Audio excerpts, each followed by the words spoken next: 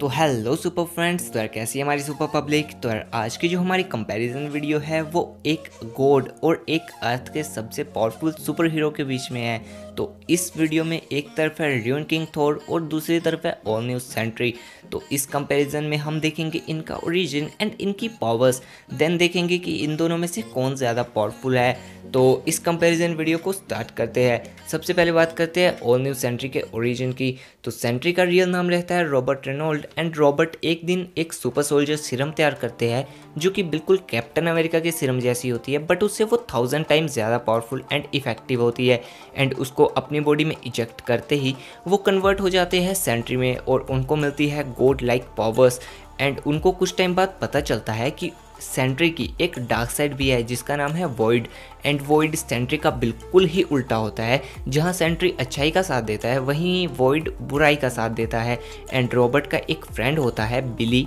वो भी रॉबर्ट के ही जैसी एक सुपर सोल्जर सीरम तैयार करते हैं, बट उसको अपनी बॉडी में इजेक्ट करते ही वो सेंट्री से भी ज़्यादा पावरफुल बन जाते हैं। और दूसरी तरफ़ रॉबर्ट को समझ आता है कि सेंट्री वॉइड एंड वो खुद एक ही पर्सनैलिटी है इसलिए वो खुद को सेंट्री को एंड वॉइड को आपस में मर्क कर लेते हैं और बन जाते हैं all new Sentry and all new Sentry Earth का अब तक का सबसे पावरफुल सुपर हीरो भी कहा गया है। तो अभी देखते हैं ऑल न्यू सेंट्री की पावर्स को। तो ये मैशअप है वॉइड एंड सेंट्री का। तो इसके पास वो सारी पावर है जो कि वॉइड एंड सेंट्री के पास है। देन इसके पास है molecule manipulation super human strength super human stamina super human speed super human reflexes regenerative healing factor light manipulation darkness manipulation complete invulnerabilities, psionic power, flight, enhanced senses, matter manipulation energy absorption and projection immortal है पूरी तरह से, यानी कि God के अलावा इसको और कोई नहीं मार सकता है।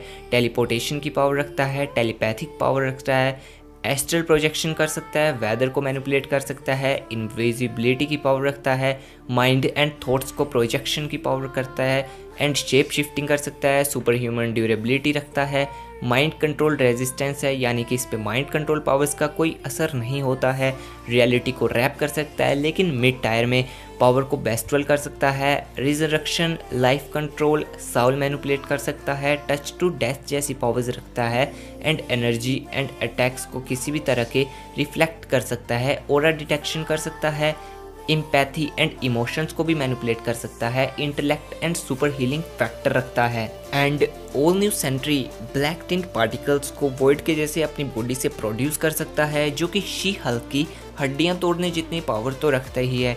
और इसको अर्थ 616 का यकीनन सबसे पावरफुल सुपर हीरो भी कहा गया है। तो अभी चलते हैं इसी के ओपोनेंट रियन किंग थोर की तरफ़।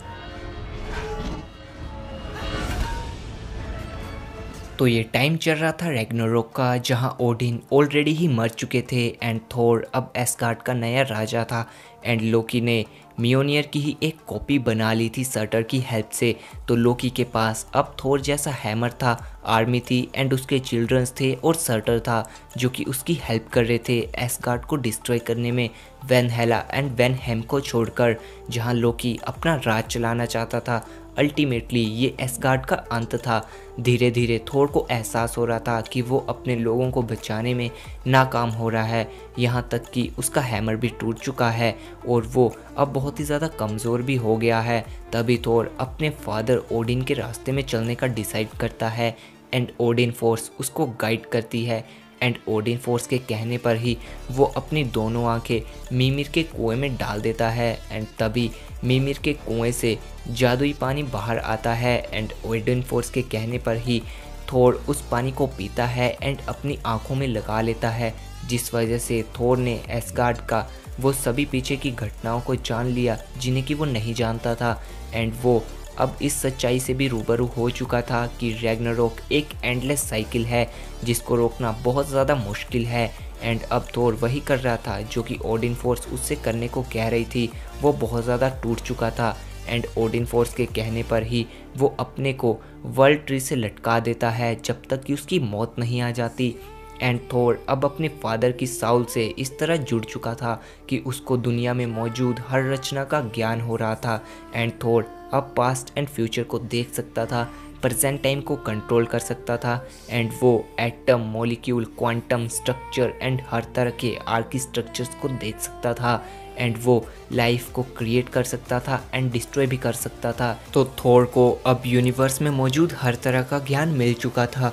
एंड रियोन मैजिक ने उसे हर लिविंग ऑर्गेनिज्म एंड ह्यूमन का फ्यूचर दिखाया, एंड वो वर्ल्ड ट्री से नीचे गिर जाता है, एंड अब थोर को मौत बुला रही होती है। थोर अब हेल्प पहुँच जाता है, जहाँ हेला का राज चल रहा है, और वहाँ से थोर निकल नहीं पाता है। बट ओडिन के मरने के बाद भी ओडिन की साउल अपने बेटे के हेल्प के लिए आ जाती है।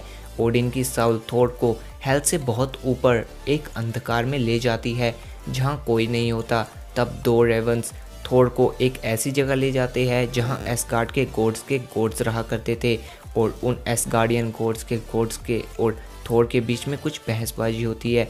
तब थोर रियून मैजिक की वजह से अपने को टेलीपोर्ट कर देता है। तो अभी बात करते हैं रियून किंग थोर की पावर्स की। तो ये एक नई ओमनीपोटेंस बीइंग है लो टायर में एंड इसके पास है Odin Force rune magic reality warping mid tier में यूनिवर्स को मैनुपुलेट कर सकता है, cosmic energy manipulation, sub atomic manipulation, space manipulation, soul manipulation, time manipulation, matter manipulation, mind control power, telepathic power, genius level intelligence and immortal है पूरी तरह से, and longevity disease immunity ageless invulnerabilities god like strength god like stamina god like durability near omnipresence है, यानी कि लगभग हर जगह उपस्थित है।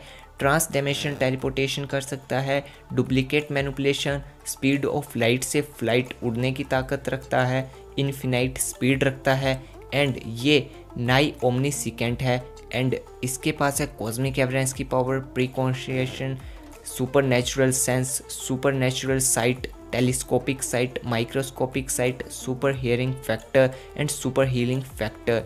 Then इसने मैंगजेट को अपने सिर्फ़ एक हाथ से ही हरा दिया था, जिसको कि ओडिन भी नहीं हरा सकते थे। तो यार, अभी मैंने आपको इनका ओरिजिन एंड इनकी पावर्स तो बता ही दी है तो अभी देखते हैं इस बैटल का फाइनल रिज़ल्ट देखते हैं कि इन दोनों के कंपैरिजन में कौन ज़्यादा पावरफुल है।